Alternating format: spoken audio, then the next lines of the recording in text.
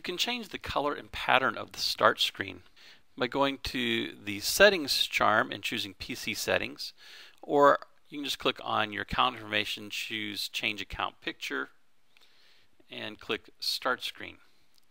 So at the bottom here we can choose a different color scheme and then you can also change the pattern. You have this set up the way you want it, simply close that app and there is our new start screen.